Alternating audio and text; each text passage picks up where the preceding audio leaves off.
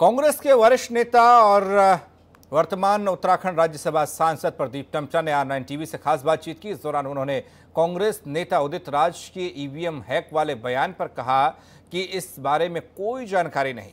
कांग्रेस की तरफ़ से ईवीएम हैक की कोई ऑफिशियल जानकारी नहीं दी गई है। जैसे जैसे परिणाम नज़दीक आ रहे हैं, अब बयानबाजी अभी शुरू हो चुकी है। एक बयानबाजी कांग्रेस के वरिष्ठ नेता उदित राज ने भी कर दी है जिसमें मुझे लगता है कि हमें कांग्रेस के ही वरिष्ठ नेता और राज्यसभा सांसद प्रदीप टमटा से इस मुद्दे को लेकर बातचीत कर लेनी चाहिए। बिहार हो या फिर उत्तर प्रदेश आपके ही पार्टी के नेता है उदित राज कह रहे हैं कि ब्लूटूथ से बीजेपी ने ईवीएम हैक कर लिया है। आखिर ईवीएम का रोना चुनावों के परिणाम के तर, जो है करीबी क्यों आता है? देखिए उदित राज जी ने क्या कहा इसकी ना मुझे कोई जानकारी है ना उस पर मैं मेरा टिप्पणी करना कोई उचित भी होगा।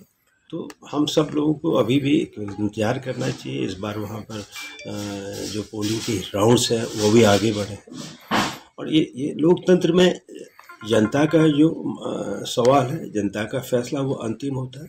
लेकिन बात साफ़ है कि जो राजनीति मोदी सरकार के द्वारा की गई ये तो मोदी से ही पूछेगा बीजेपी से ही जान सकते हैं।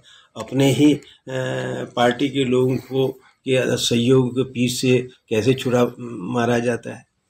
आज परिणाम की बात है।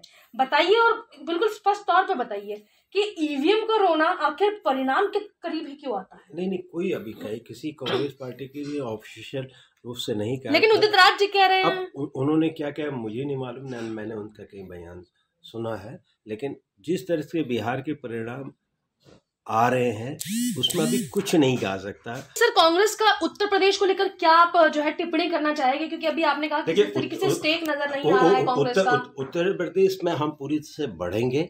उत्तर प्रदेश के अंदर पिछले एक साल के अंदर जनता के सवालों को लेकर के हमारी नेता राष्ट्रीय प्रियंका गांधी जी के नेतृत्व में जिससे कांग्रेस को नया रूप मिला है नई ऊर्जा मिली है और ये अभी तो उत्तर प्रदेश सर लेकिन फ़िलहाल आप अभी वोट काटू पार्टी के तौर पे नज़र आ रहे हैं उत्तर प्रदेश में? हम कहीं वोट काटू नहीं हम वोट काटू पार्टी की राजनीति नहीं करते जहाँ इस वक्त कांग्रेस की वोट काटू पार्टी के तौर पर नज़र आ रही है कांग्रेस का स्टैंड अभी उत्तर प्रदेश में इस तरीके से नहीं है जैसे समाजवादी अभी बीजेपी को टक्कर दे रही है। कैमरा पर्सन केसर के साथ मैं भावना, आर टीवी, दिल्ली।